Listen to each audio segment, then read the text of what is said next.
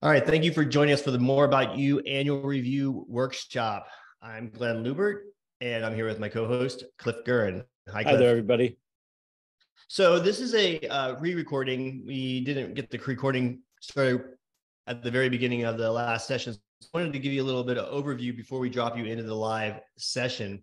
And we started off the workshop by doing a poll and looking at the number of people who were taking this, doing this annual review for their first time, the second time, or three or more times. And 96% of the people answered that this was their first annual review. So the questions, when we're answering them, they are framed towards people doing the first annual review.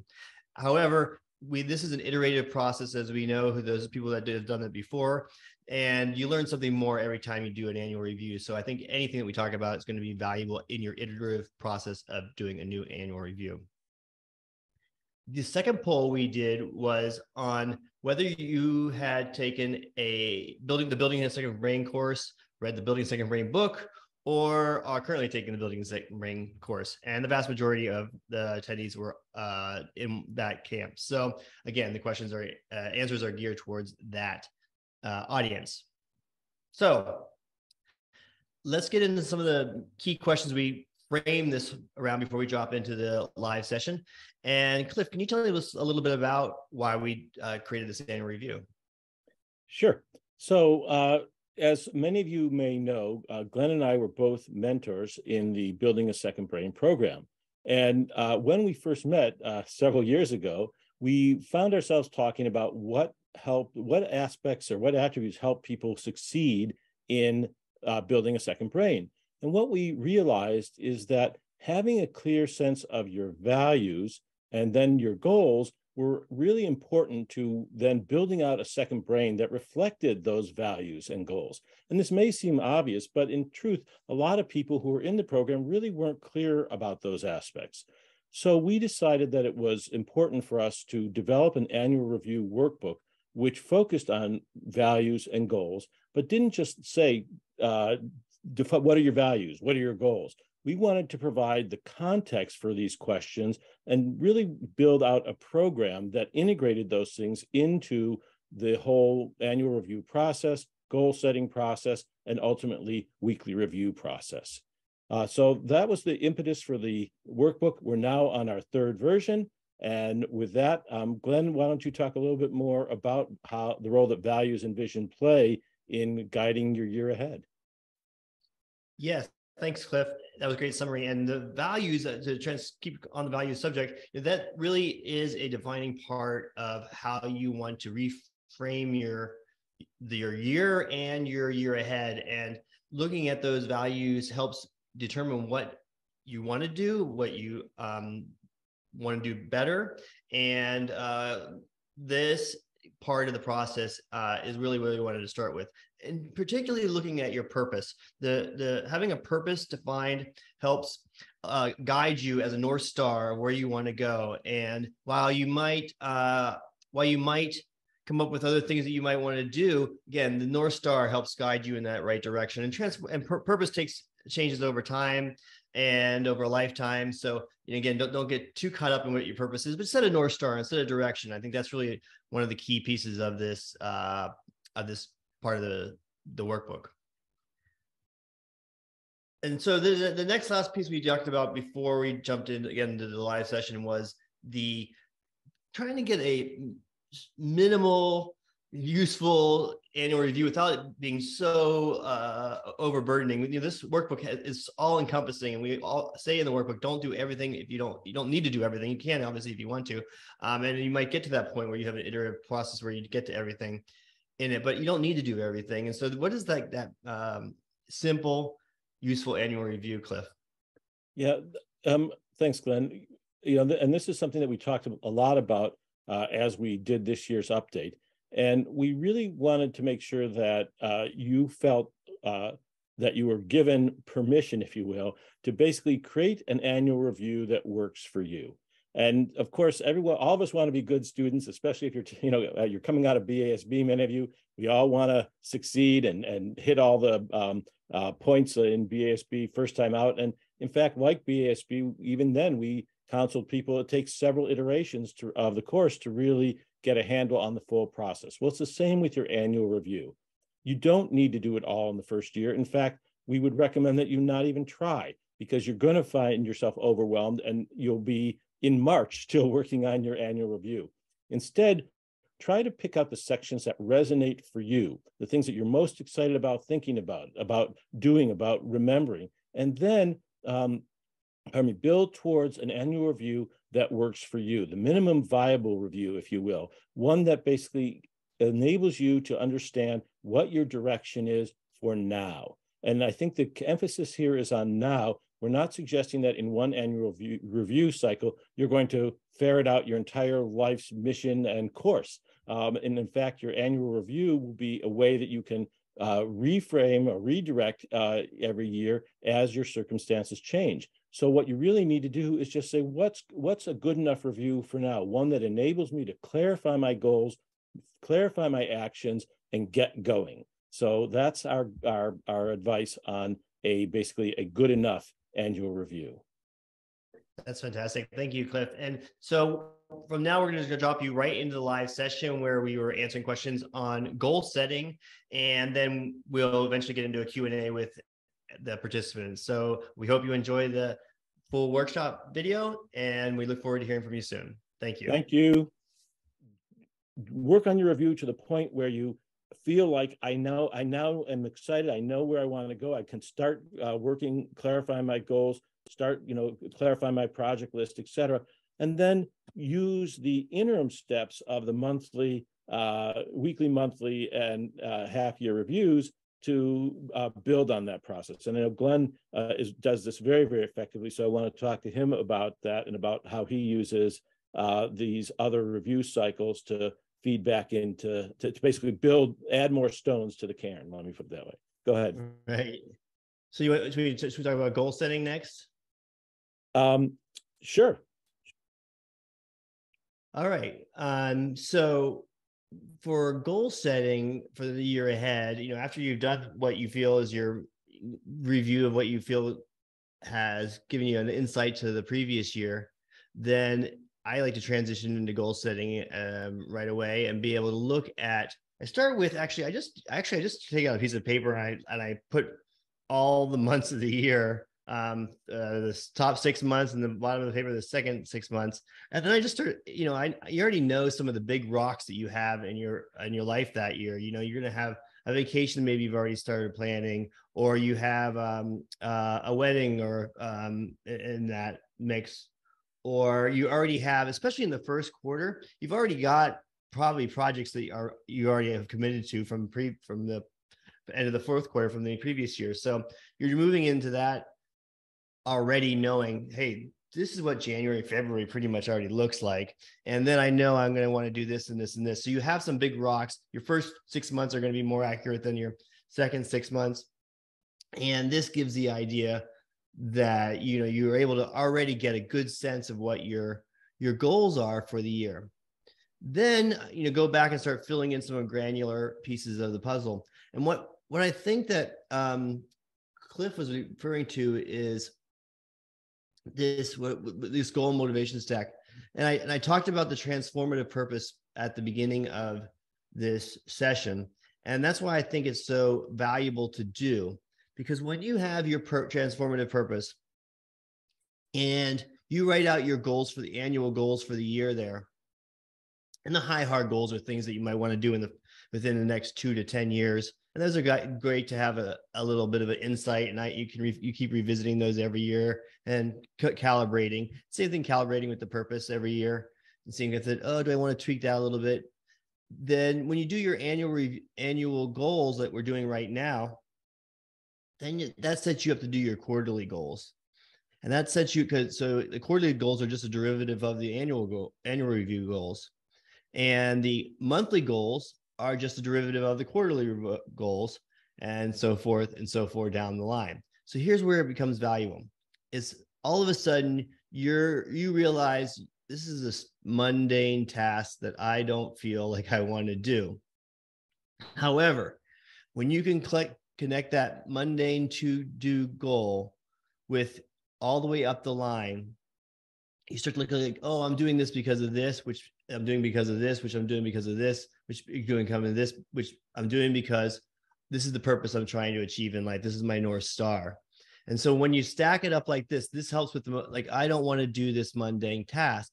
Oh, right. I'm doing it because this, this, and this. That helps with the the motivation to get going. And that's why I feel this is such a uh, valuable uh, thing to have in your as your transformative purpose.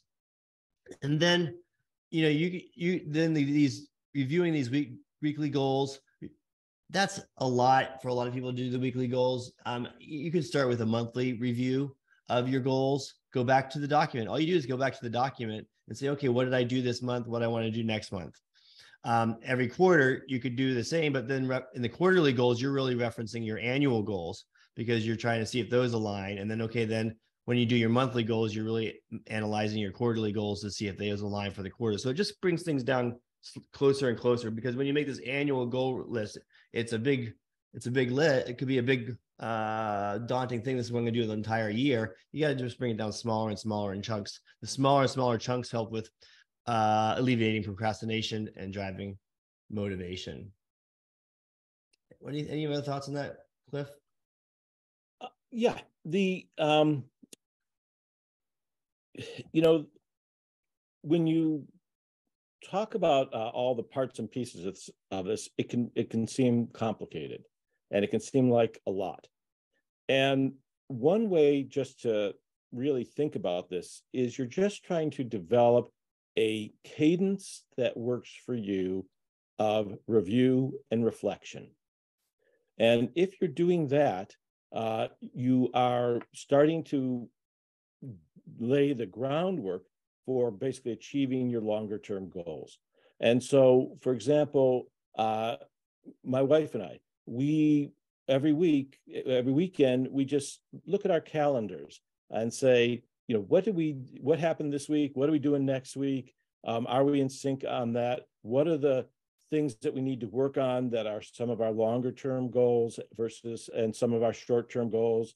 Uh, and it's not a very formal discussion. It's just, uh, uh it's not like we have a a form that we go through. We go through it with just a, a, yellow piece of paper and just write down something that we can both refer to during the week. It sits on the counter and we can just check off a few things that we get done, particularly the stuff we don't want to do, like all the house maintenance stuff and dealing with that, and just making sure it gets done. And, and that alone, step by step, leads us towards our larger goals. And, you know, of course, uh, from time to time, we sit down and say, you know, how are we doing uh, in terms of where we want to be and what the things we want to work on, uh, whether it's a big project, uh, an upcoming family event, or even a small project. And that is a form of review and reflection that uh, connects us and both uh, as a couple, but also connects uh, us individually to the things that we want to accomplish. And so it is it is um, it's review, reflection, really, and then learning, and and just being honest about what's working, what's not working. Uh, you know, whether it's you doing it for yourself or you doing it with your partner or even a, a group of people you're working with. But this practice, this practice of review, reflection, and learning is really what I think uh, is critical to the overall review process um, and, growth process, and then achieving your your goals. So I, I would simplify it just to that little uh, phrase. Yeah, I also add on to that that this is this is a iterative process. It builds upon itself every year because you go and you're like, oh, if I do this during the year, then this will make this annual review easier and it'll make it more robust. For example, when I do my weekly reviews, and this could just as well be done in a monthly review, is one of the first things I put on the list is what are my successes for the week? Again, this is based in uh, solution focused psychology, and it's put it gets you motivated because it's looking at the strengths that you already have, and you write down these are the key things that I did this week. You accomplished something this week, um, even if it's the smallest thing. And so, writing those down, uh, you don't I mean you don't have to. You could just think about it, but writing it down has another re- level of resonance, and it also has another side benefit that when you go to do your annual review, you already have a list of all the successes you've had for the year. So you can go through and just pull out your your your key biggest successes that you felt like. And when you do so when I go do my annual review for the previous year, a lot of it is just reading down that list. And boy, that feels really good to read through 12 months of uh, mostly every week where I'm writing something down. And then you're you're pushing that dopamine through your brain, which dopamine then gives it gives you the motivation you need to to keep going into the next thing and the next thing.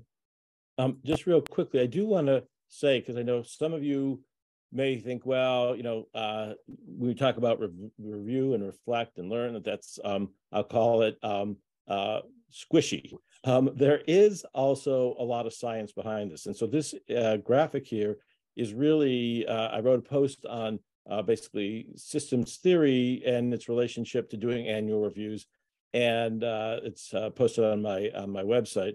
Uh, and uh, you can see from this that really the cre- the critical thing here is creating feedback loops. And in this in this uh, article, I walk through what happens when you have a system that doesn't have feedback loops and why it breaks, and then what happens when you actually add in one feedback loop and then multiple feedback loops. And so there really is um, uh, a lot of science behind the idea of doing uh, regular reviews, both for your uh, uh, uh, ability just to manage projects, uh, projects that you're working on, but also to achieve your longer term goals.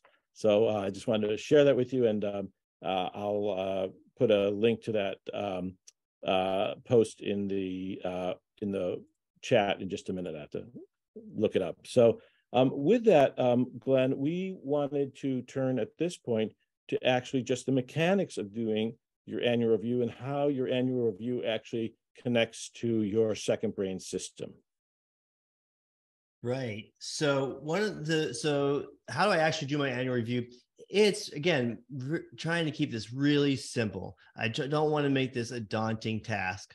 So these are these are notes I have in a notebook in Evernote.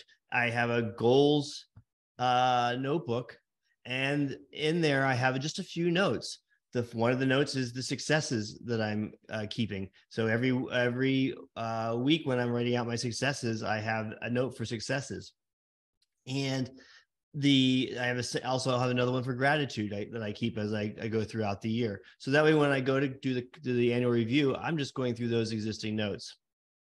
I also have a note that is my my goals for the year, and that note includes the uh, the the pieces that we talked about, the transformative purposes at the top, you know, what are my high hard goals, what I want to do in the one to 10 years, and then the breakdown of the the different areas that I'm working on.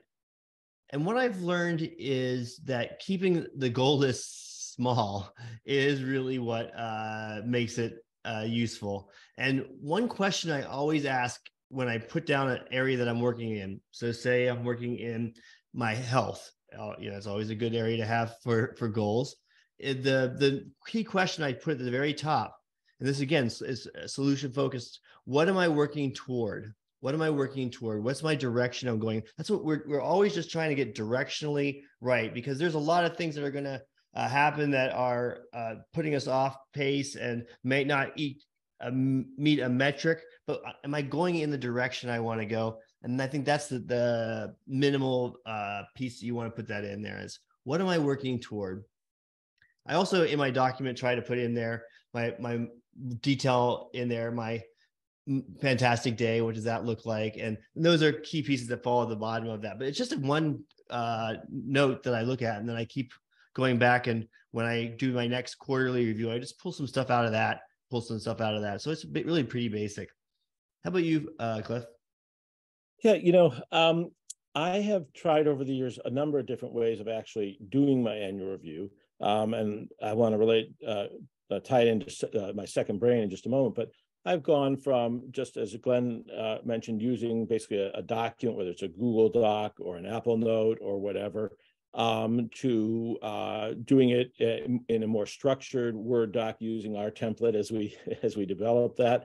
Uh, and this year, what I did is I for my own purposes, I took all the areas in the template and broke it apart and used a visual note-taking tool, in this case, an app called Walling, uh, to basically create my uh, annual review as a wall. Uh, and uh, and part of the fun of that was uh, to be able to uh, see the different sections and uh, uh, have a nicer presentation of the photographs and the album covers of the music I listened to. It was just a way of making it fun. And so the key thing here that I want to convey is try to make it fun.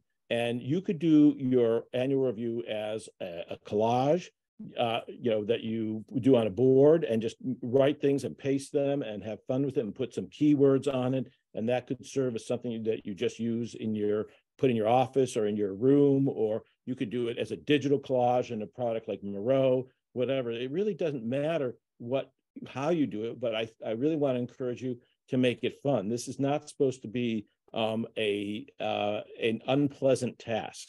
And so I always want to, uh, you know, I start out by saying, look for what resonates. I would tell you now, choose a way of doing it that makes it fun for you and one that is going to speak to you throughout the year. If reading a long list of goals and so forth isn't really going to resonate with you, then find another way to present that that does. Because at the end of the day, this is the value in this is making it something that you can, uh, you feel excited about and good about going back to. So um, and, and so let's talk for a moment, though, about how all of that informs your second brain system. So as, as um, first, I want to make um, a comment about your second brain. And some of you, I'm not sure where all of you are in terms of uh, building your second brains. But um, if you are early on in the BASB process, you're probably focused on building your second brain with one tool, um, which is the right thing, whether it's Evernote or Notion or uh, Obsidian, whatever you've chosen for your second brain. And you're looking at it as basically the go to place for all of your notes. And that's a great start. But what you'll find over time is that your second brain will start to encompass a number of different tools that you use to basically manage your digital life. And so in my case, for example, I've been using this app called Walling, which is again similar. You've heard probably heard of Scrintal or or even Notion, whatever. It's a, it's just a different version of that that has some features I like. Um, and so that's becoming more part of my second brain system. So the the idea here is um, you don't you don't have to do your uh, annual review in the tool you're using for your second brain. You just have to make it part of your larger second brain system, that collection of places that you frequently go to. Now, the benefit of your of your annual review is that it's going to give you guidance about things like your projects, your you know para projects areas, uh, resources, and archives.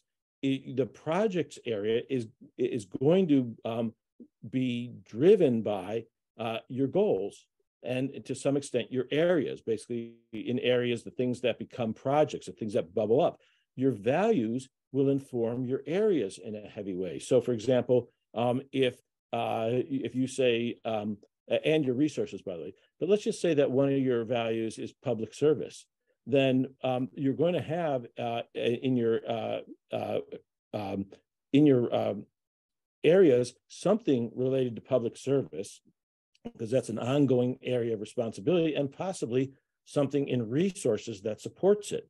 And so when you ask yourself what your second brain should look like, um, I, I always counsel people that your second brain should excite you. It should be a reflection of the things that basically are engaging your attention, your energy, uh, your you emotionally, um, you spiritually. That that is the, that's what should inform your second brain. And so by doing your annual review exercise, you are basically giving yourself visibility into those things that reflects back into what actually goes into your second brain.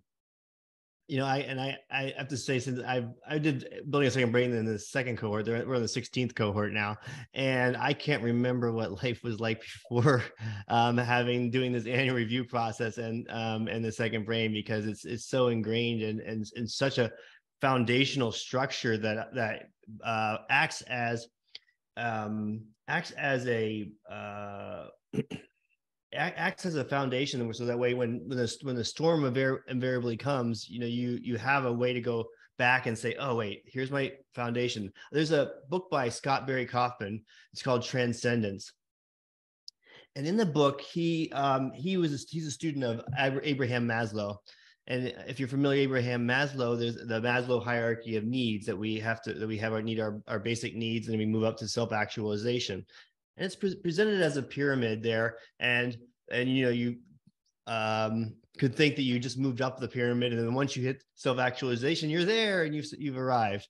However that's not what uh, uh, uh, abraham maslow had intended. And when uh, scott barry kaufman uh, went through all the literature that he wrote even stuff that was unpublished he came back with a different metaphor for the uh, hierarchy of needs. And he likened it more to a sailboat where you have the hull of the sailboat.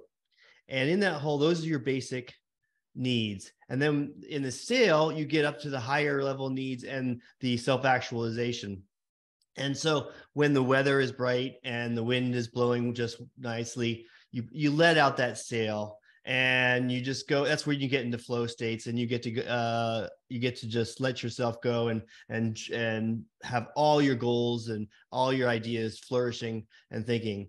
However uh, we we are humans and in life storms come along and they could be bad storms and you don't want to leave that sail open because it'll rip through the sail and you'll have no way to flourish in the future.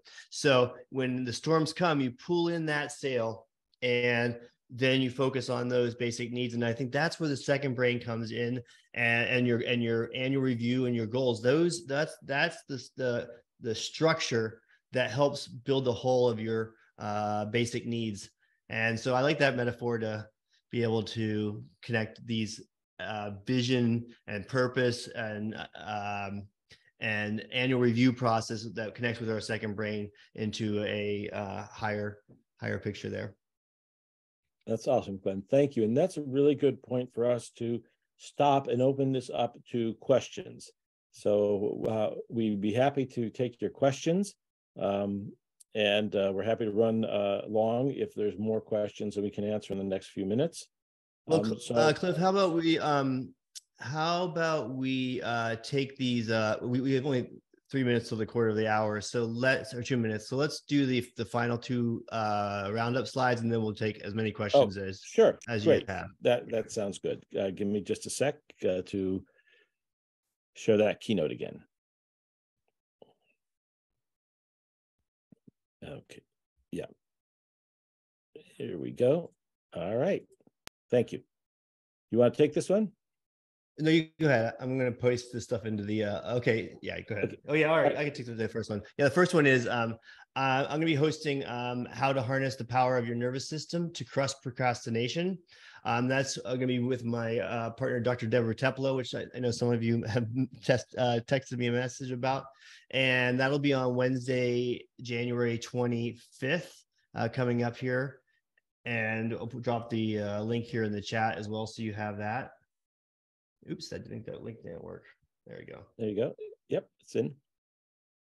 And then we also, as we mentioned, uh, Cliff and I have the Second Brain Superpowers course. This is where we go into more of how you take the, the second brain that you're building right now and take it to uh, you really harness the superpowers that you can come out of it. We match uh, how to eh, have our creativity and match our use our second brain for our creativity and use our second brain to help get into flow states more consistently. So we have that coming up. Yep, and, and we're that'll be coming up a little later this year, and we'll definitely keep you posted. But so if you want to, um, you you you'll be in the if you want to put yourself specifically on the list, there's the link to that, um, and we do have your email address, so we'll we'll keep you informed in one way or another. And uh, again, here are our email addresses, and we invite you to reach out to us. Visit our websites. Uh, mine, you'll find my uh, uh the archive of my newsletter, uh, Metaphor, which comes out every two weeks, uh, most of the time, um, and and you'll find basically two years worth of articles on creativity.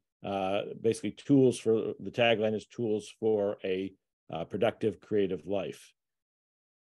And Glenn? Yes, and um, my website is also on there, and I write at the intersection of technology, behavior design, and well-being. So if you uh, want to reach out to each of us for any questions on how to work on your second brain, we'll help. We're happy to help you as well on that. Um, and yeah, I think that uh, wraps up all the things we wanted to talk about. So we'll just now open it up for any questions that you might have. Perfect. And feel free to unmute. We're uh, we're a small group. You can just unmute and speak up. Okay, I have a quick question. Sure. Um, on average, what's a good amount of goals for a year to have? Well, I'll, I'll take that to start off. I think uh, I think I alluded that to that before. Um, I I like to have. Um, I I find that less is more. So I find that I really like to focus on some one key directions that I want to go, and my first quarter goals are going to be much more clear because they're being informed by what we what has just happened, and then my third quarter and fourth quarter goals you know i have and i and i think having them by quarter gives you a lot of flexibility rather than saying oh this is what i want to do in this month in this month um because the, times you know we have things that change and move around as we go through and even i, I you know i ran a, a very successful uh, technology company for 20 years and the uh, reality was you know technology is changing so much um, and that it was really hard to predict more than a few uh, two to three quarters ahead anyway. So I try to uh, keep less is more and then build off of those things here. There actually, this is where I want to go, but and then maybe a couple key programs that we want to do. But then as the year goes, is this still going in the direction I want to go and adding adding more goals as I go along? I don't know if that helps. Uh, I'll give you a, a specific number. It's five plus one. And here's the logic of it five goals are you can easily remember your top five goals i think it's tough to really remember 10 goals so five so five goals and then one stretch goal so if if i just got these five i'd be super happy and if i get if i get those five plus one that's that is even better but i don't i for me that, that's uh, just an approach that works for me because i want to be able to quickly say to myself, is is this really one of my go- goals? And if not, um, then uh, uh, you know treat it appropriately. Um, so five plus one, and I used I used that uh, this year. I tried using that for everything that I want to do. Pro- my top projects five plus one, and so forth. My goals five plus one. Hey Cliff, what's it? What is a stretch goal? Oliver asked. Uh, stretch goal basically is something that would be nice to have or nice to to uh, d- deliver, but um, you're not basically it, it's not your top priority. So it's it's the nice to have. It's the thing. It's the edge case, basically. It's the thing that's on the edge case. Um, and look again, these are not super hard and fast. It may be that your edge case becomes more important because of circumstances. As Glenn said, you you know it's hard to plan, and you know the part of the idea of doing at least quarterly reviews is to really you know, accommodate the fact that we live in a in a very dynamic world. Um, so uh, the stretch goal is the one that sort of you get your bonus, your personal bonus if you if you uh, if you meet your stretch goal. So it's if all you, game. It's all mind games you play with yourself. Yeah, definitely. And if you put if you put if you look back on that uh the, the thing about the chart that I had where the air up to transformative purpose, I had weekly reviews there and I had calendar everything because the goals are, are are the outcome. Really, it's the process that you're putting in place every week. So if I want to write, if I want to write um four blog posts a month, uh, that is a goal, but I have to put the process into place. So I, I would have to have, I, for example, for me, I have a calendar time blocked off every Monday morning is my writing time. That is, that's what I, what I have. And maybe I don't get to four blog posts a month, but I'm doing the process. I'm doing the process every week. And the process is what it, the outcome is what it is. And if, if it's, if the outcome is not what I want, then I need to update the process. And I or maybe I need to have two days a week where I'm doing that so that way I can hit this uh, goal. But that's why the calendaring part of this Um, that's when you go that's and that slides inside the um, workbook too, so you can go back and reference it. But that weekly review and then calendaring it um, helps do that, as well as having, like I said, some key. When I go do my calendar review, like half the calendar is already filled out because I, I know I want to have a writing session every Monday morning. So, and there's other ones of those things that go, throughout the week that match with my uh, goals. I'm launching a podcast this uh, year in the first in March. So there's podcast time every week uh, blocked off for that podcast. And so when you start putting some of those blocks in that are going to be the process for your end goals, then you start to see, oh, wait a second, I put those processes in place. I have calendar items every week on there.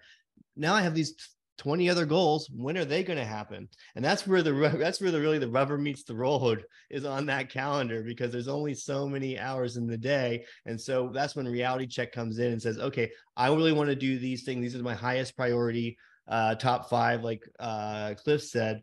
And so where are they going to fit on the actual calendar in addition to taking care of the kids, working out, cooking, you know, all those things are the uh, even even my my calendar. I obviously have the workouts, but I also even have make um these are my dinner time uh on there because those take up this time of the day. And when you do that here's less what here's what's left inside the the calendar for the rest of the goals. And uh, diana uh, asks how you how do you leave uh room for serendipity if everything is on a calendar?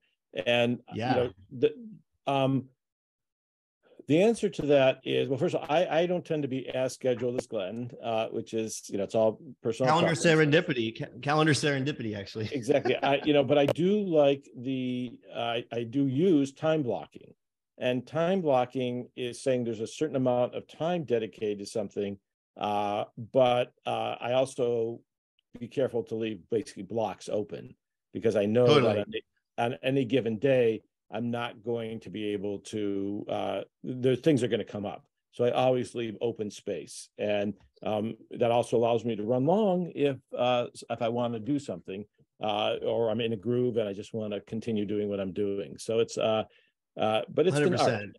And, and, and look, yeah. let's face it, different people, I, I, don't have young children at this point. Uh, so uh, um, I have 30 somethings, which are a whole different, you know, and grandchildren, which are a whole different deal. So the point being that if you have young children, you need to leave more um, unscheduled time on your calendar because, you know, basically we all know that uh, younger children don't follow, you know, uh, the schedule, um, nor are they supposed to. So, um, so you have to. So that's a reality you have to accommodate in your calendaring. Totally, and also the I think I feel like the beginning of my week I have the the structure much more uh the the calendar much more structured. With the end of the week, not with like almost no structure, because then then I can take those blocks and say, oh, this is not. I want to stay involved in like I'm in flow and I want to keep working in this project. So oh, this is this can be easily moved. This is, doesn't have a hard and fast time that needs to be done on Monday. I can move this into Thursday or Friday, that type of thing um, serendipity wise too I, I, do a lot i go to a lot of meetups um, to to in different areas that i'm interested in.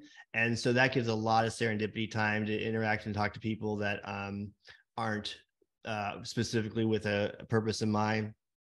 Um, and then uh, you know these communities like building a second brain those are great for lots of serendipity too. Uh, and yeah, I think to connect that back with the second brain though, capturing those notes is part of the process. So, uh, you know, when I, if I go to a meetup or, you know, we, we do one of these online sessions, you know, capturing, if I had a conversations with somebody, what was something they said um, or something I thought, what, what's one thing I thought I heard uh, or, or said to myself and capturing those notes those are some some of the most valuable notes you can take the i call them fleeting notes i don't know if you have another term for them uh cliff yeah um the uh fleeting notes is is uh the um Zettelkasten term for them as yeah. well. Yeah. Let's let's which is good. Let's um uh we have a couple of other questions that I want to make sure we get to. Um so uh one of them is that um uh, and these are all sort of uh related. Andre said, not everything is sunshine and rainbows. Uh, we focus heavily on the positive parts. So, how do you deal with failure and disappointment? And do I have to frame them like I'm grateful about them so I have learned X, Y, or Z? So, uh, I'll start on that one. Um, yes, failure and disappointment are part of life. Um, we all we all know that. Uh, so uh, so thank you for raising that. I think the key things that um, we are trying to uh, focus on is that in terms of the annual review process, um, basically, and it depends on the kind of you know with the source of uh, why you you know you failed and so forth. But um, in terms of planning for your future self, um, there's a lot of research that shows that focusing on your successes is far more productive than your failures. So let's start with that. So you could pull out your strengths. That's a solution focused piece. Yeah, exactly. Solu- it's a solutions fo- solutions focused approach. Absolutely. That said, in terms of dealing with failures, I think you, you have to be uh, ha- you have to. We talked about review and reflection and learning. Yes, I think it's worth reviewing and reflecting uh, and learning. And some of them may because you didn't do as well as you would have hoped.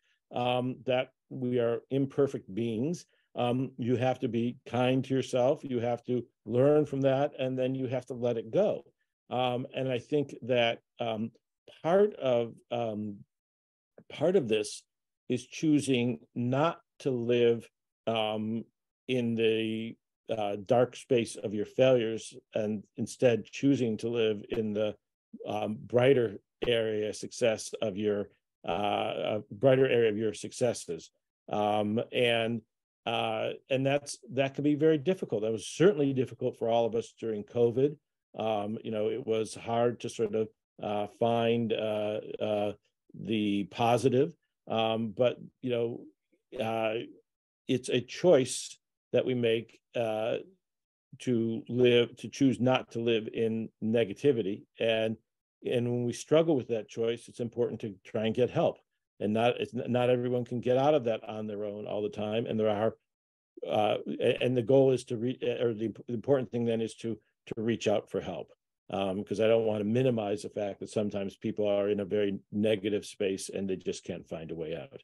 Um, so yeah, but, uh, so gra- gra- yeah, I say grat- you hit a right there. You gratitude and focusing on your uh, successes and your strengths um, help reframe uh, that and uh, and helps drive you towards the again the the solution focus. You know, when you're creating be when you're creating new habits, one of the things that people try to say is, okay, how do I break my bad habits or how do I get things? You ne- your bad habits are always there; they're never going to go away.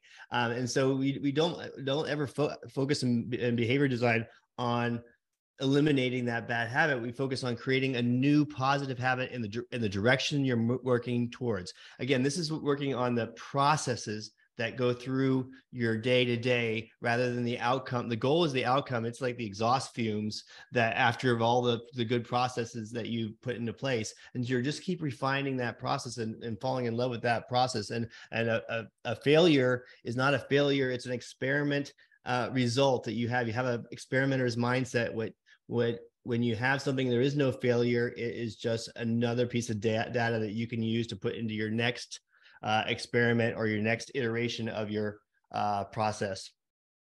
And I, and I have one last thing on uh, on the failures and it's and I'll put in there it's a it's a um, poem by uh, Rumi that I like to um, reflect and come back to. It's called The Guest House and um, it's basically that you know you welcome these uh, things that are coming in and it's a, just a way to reframe it because it's basically uh, rearranging your furniture for a reason. So that way they the furniture wasn't working the way it was supposed to and it needed to be uh, rearranged so that way you can be more oriented to the to the future. Very nice. Very very nice. Um, what else we got? We, I think we uh, well, um, Oliver, uh, uh, the the two sort of open threads at the moment are Diana and Oliver. So if either if you feel like we've addressed your questions with what we've said, great. If not, unmute and, and feel free to ask your question or or add, add, add it in the chat. Sharon, go ahead. You you have your hand up. Oh, okay, great. Thanks. I didn't see that. Oh, um, hi Glenn, hi Cliff, thank you. So um, my question is that um, so with the building a second brain, I actually have a year tracked of um, um, weekly reviews and some are monthly reviews. but I I basically decided to do this process from November, and I wanted to finish everything on um, December the 31st and I didn't get to and I had a meltdown because I had I have so much information tracked of everything of the year and I just didn't know how to um what's it called um how to minimize it and and it's still there. So like when we said happy new year i was just like should i continue on these reviews or should i just leave it? So i just decided to leave it. And so far i'm on like june. And and what actually happened with my um daily weekly review is that i I did my daily and my week and my weekly reviews, but I haven't connected the monthlies. So what I was doing is just that I was going back and then trying to read over and then and then connecting them to see what happened in that month. So everything is just kind of like all over the place. So I don't know if I should continue that big process or I should just chunk it down. And even from chunking it down, I, I don't know how to chunk all that information into just this tiny little thing that I need. So, so let, let me ask you a question. Uh, if you were starting over again for a new year, how would you change your process to make it more manageable and useful for yourself? Um, fantastic question, Cliff. Well, um, I don't, I don't know, but this year I've started the same process again. But um, what I've did differently is because um, when I was reading my re- reviews last year, I realized that some of the some of them are copied copy and paste templates. So then I I couldn't really understand what happened in in the day. So I have to go back and reread and make sure that everything is in sync with what happened in that day. So that's what I'm doing differently. But it's still time consuming. Like like today was a very um not much happened today, just Zoom calls and stuff. But if it was like a big day, that daily review would literally take me an hour to do for the day. Mm-hmm. So it's yeah, yeah it's it's, it's yeah. really long. And and and and did having that level of detail on each day um, help you during the year? I mean, is there times when you went back and having that level of detail was useful to you, or did it oh. just was it just too much to even sort through? Uh, it was too much to sort through, but the months that I did manage to sort through, it was really insightful for how I work and and what I need to um, eliminate and what I need to do and and actually um, analyze my workflow more better and I can actually see where where I'm effective uh, and when I'm not effective. So it really actually did help completely. But so one idea, just throwing it out here, might be to say, I'm going to do a detailed review like that for, say, a month. And then I'm going to take two months off and do a lighter process, see where I'm at, and then see what I want to focus on when I dive into the next detailed review.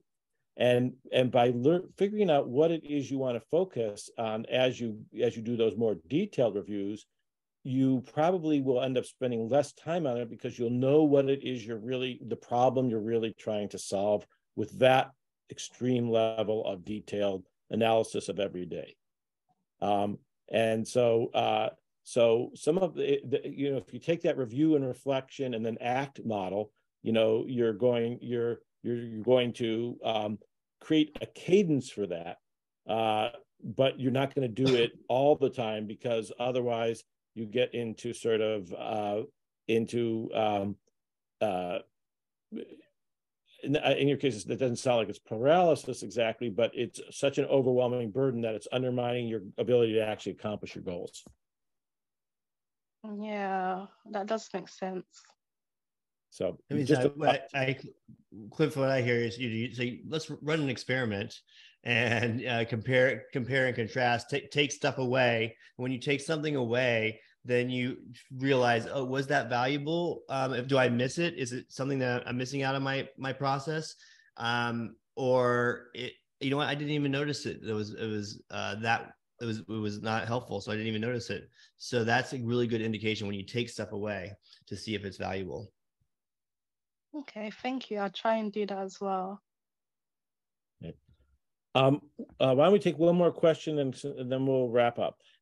Anyone else have good. one more question? Thank you, I know Glenn. some in the thank you, chat- Yeah, good. Go ahead. Yeah. I know there's some in the chat, so just um, mutes because there, there was a lot to read through there. I wanted to see if anybody has a burning good question. There you go, Oliver. Uh, yes. uh, So my difficulty is I hardly remember anything from the past year, especially from the beginning. Yeah, it was so many things happen.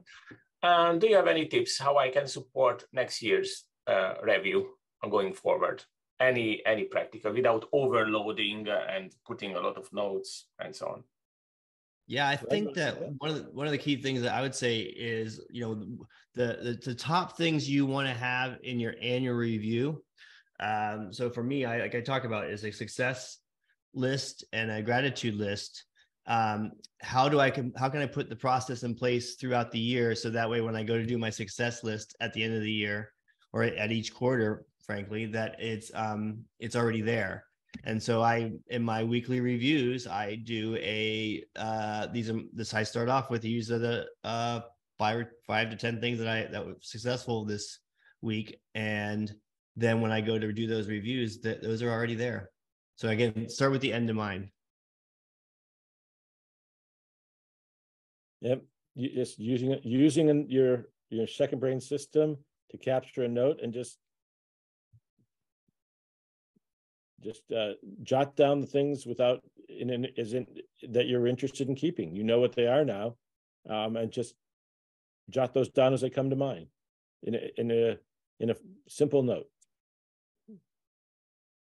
Okay, thank you.